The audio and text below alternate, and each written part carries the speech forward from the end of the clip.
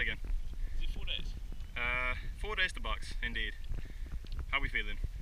Uh, excited. The boat's now working, so Our boat does indeed now go in a straight line, which is good for the bowman, also good for the stroke man. BUCS in general, really. You know, Straight lane lane- racing, you'd like that. I'm more about curved race laning, laning races, Yes, same, my favourite. laned race. Yes. Uh, but no, Yes. going well. Got the speed. Say something, Hannah. Say something. Hi. Hi. A big moment.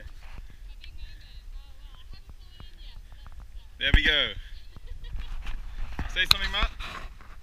Hello, everybody. Hello. From Matt. For Ryan, what's your word of the day? My word of the day is opsonization. Opsonization. My word of the day is agglutination. Anyone does? It, it was a kneel, but that was before 12 o'clock, and that's after 12 o'clock. That's, uh, you know, my afternoon word of the day. Word of the afternoon, I guess, I suppose. Here we go. Suspension bridge. Top, top. Yes.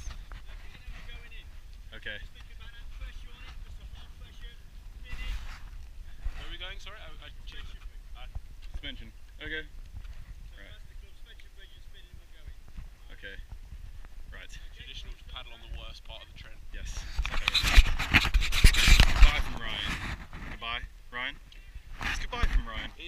one.